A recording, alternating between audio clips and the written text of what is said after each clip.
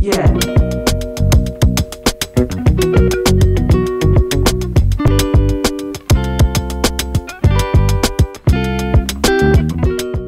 Hola chicos, ¿cómo están? Bienvenidos a un nuevo video, seguimos en la aventura en Qatar. Hoy con mi gorrito de la selección argentina.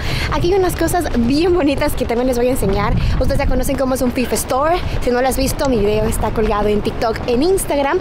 Y bueno, acá estamos en un día más em, Vestidos de esta manera Para seguir apoyando, se juegan octavos de final Cada vez más cerca de conocer a un campeón. Y bueno, aquí siempre corre viento en esta villa y de igual manera. Así que bueno, vamos a continuar porque el video que vamos a prepararles el día de hoy es hablar un poco de cultura acá en Qatar, eh, las restricciones, qué cosas han sido ciertas, otras no. De hecho, lo de la ropa eh, se ha tranquilizado. Yo también hasta he usado alguna blusita un poco más corta. Bueno, esta vez utilicé un poquito algo con, bandas, pero en general eh, la cultura se ha tranquilizado muchísimo y los cataríes te han recibido con todo el cariño y el amor. Mira, ya la gente comienza a irse. Cada vez que una selección se elimina, hay más gente con maletas. Así que acompáñame hoy en esta aventura. Vamos.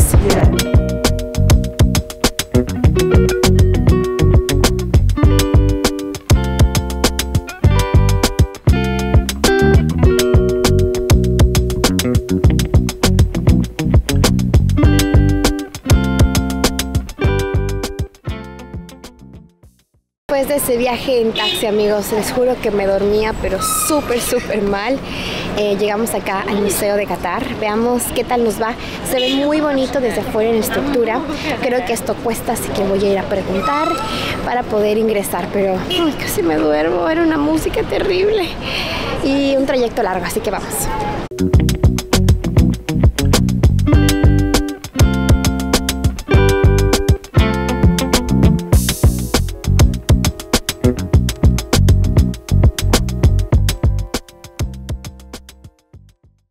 Y bueno amigos, aquí hice unas compritas más, verdad que soy adicta a las cosas de la IF. Me encanta la IF en turbante, la IF en peluche, la IF en todas sus formas. Y encontré la Scarf de Ecuador, así que eso fue una cosa maravillosa. Aquí venden un montón de cosas chéveres y bueno, la cultura, hay mucho japonés, mucho coreano y bueno, hay muchísima gente comprando cosas para México, para Bolivia, para Ecuador, para Argentina. Bueno, hoy sacando mi modo turista. Thank you.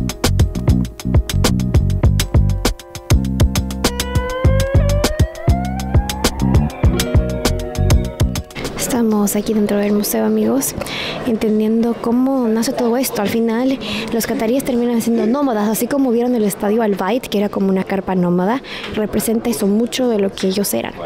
Entonces, aquí estamos viendo un poquito lo del desierto. Nosotros tuvimos la oportunidad de estar en un camello, hacer la forma en la que ellos también se movilizaban. Me encantó muchísimo este cuadro.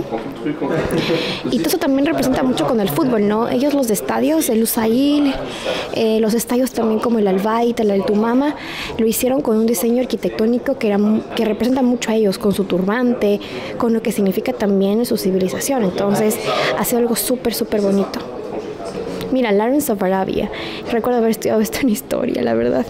Pero miren, aquí está toda la información que podemos conocer de los árabes, de su travesía y cómo forman Qatar, ¿no? Que es una ciudad prácticamente nueva y que está en constante construcción. Y como les iba diciendo, ¿no? Ellos son nómadas. Aquí está representado tal cual como el estadio Al Bayt. Miren es la famosa carpa que ustedes deben haber visto que el estadio Al, Al donde jugó Al como le pronuncian acá Ecuador, tenía esta carpita que representa muchísimo cómo ellos se movían de un lado a otro, al menos hablando de los cataríes y los árabes. Entonces aquí está completamente representado lo que ellos pusieron en ese hermoso estadio que lo conocimos donde Ecuador jugó. Así que ha sido una belleza. Miren acá que está la historia. Estoy tratando de contarles lo que estoy leyendo porque lo bueno es que aquí todo está en inglés y en árabe. Entonces se puede entender y sabemos inglés, ¿no? Así que está bien bonito esto. Por los pasillos, amigos. Y nos vemos representados acá por, por la parte de nómada, ¿no? Alvar of Qatar es lo que dice acá que era como ellos prácticamente se transportaban, o sea, la forma en la que ellos tenían sus maletas y sus casas para transportarse rápidamente y poder extender su familia, o sea, ellos siempre, siempre se movilizaron de un lado a otro, entonces tenían que aprender a cómo ser una familia portátil, literalmente, mientras iban creciendo y así eran sus carpas, como ellos también se iban armando. Miren, aquí está la representación tal cual de lo del Albait. que les digo, o sea, me encantó porque todo tiene sentido, la verdad, en este país que ha sido un tanto difícil y diferente.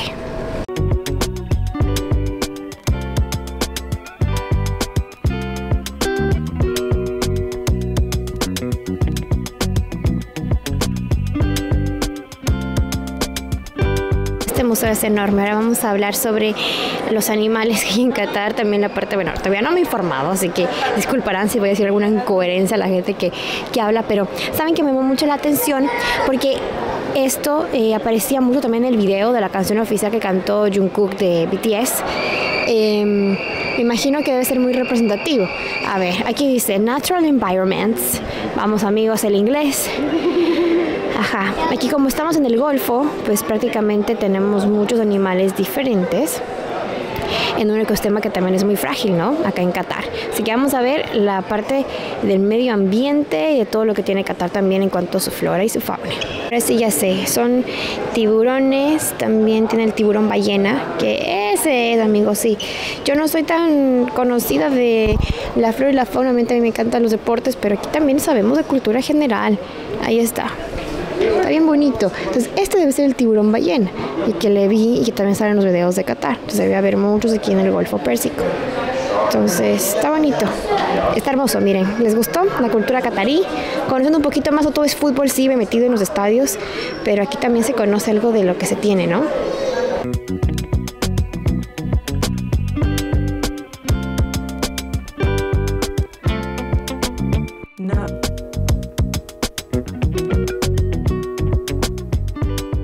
Seguimos explorando.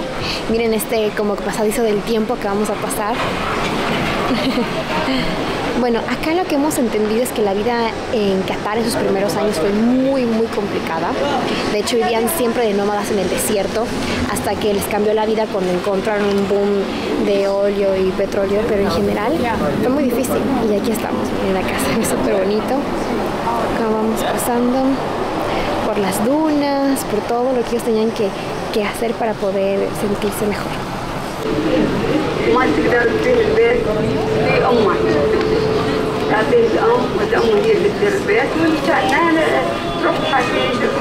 Seguíamos avanzando en todo lo que queríamos seguir viendo en este museo especial, Museo Nacional de Qatar.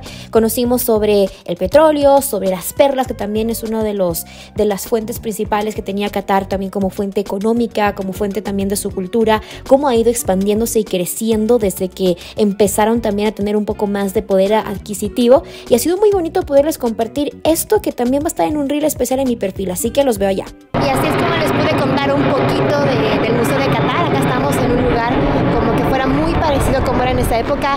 Ahí está la tent, ahí está la bandera de Qatar, a ver si la podemos enseñar. Así que ha sido muy muy bonito todo, ahora voy a seguir recorriendo. Como pueden ver acá los turistas podemos grabar sin problema, usar lo que nosotros queramos. Eh, ha sido muy muy muy respetado y aquí estamos como que en un antiguo palacio. Así que muy bonito todo y nos veremos a encontrar en la próxima locación. Sígueme aquí en el video. Siempre conocer un lugar nuevo nos llena el corazón de nuevas aventuras y es un gusto poderlos compartir con ustedes. Así lució el museo por dentro, una arquitectura espectacular y nos movilizamos a otro lugar que les cuento ahora. Ahora amigos, acabamos de llegar a una de las mezquitas más lindas que tiene Qatar. Aquí miren, precioso. Aquí pueden ver a muchas mujeres, veamos si logramos entrar. No creo que nos dejen filmar adentro, pero Está muy bonito, ya les cuento bien el nombre porque es un tanto complicado, pero está muy muy simpático esto que les traigo de cultura islámica. Esta es una de las mezquitas, como les digo, más famosas y luce bien bonita. En este momento en Qatar son las 4 de la tarde, pero miren que ya va a oscurecer. Pero está preciosa, es imponente. ¿Nos dieron algo para ponernos? Vamos a ponernos. No me dejan grabar con la cámara, así que lo voy a grabar así en vertical de musulmán, amigos. Experiencia, amigos.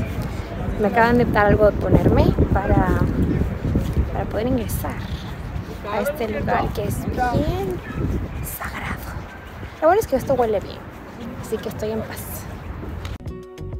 Así lucía por dentro la mezquita. Tuvimos la oportunidad de tener a un eh, catarí que nos daba toda la información, nos comentaba sobre la cultura, sobre cómo es la religión también con la mujer, con los niños, los derechos. Tuvimos esta gran oportunidad de sentarnos una pequeña tertulia donde él nos dio a conocer que los cataríes y los musulmanes siempre vienen siendo muy respetuosos con los extranjeros. De hecho, en Qatar pasamos momentos donde todos podíamos compartir nuestras culturas y no hubo ningún tipo de restricción. Aquí estábamos conversando con mexicanos, con argentinos, porque nos unimos a un tour y después tuvimos que salir de la mezquita porque empezaba el, el momento del rezo y así se escuchaba todo.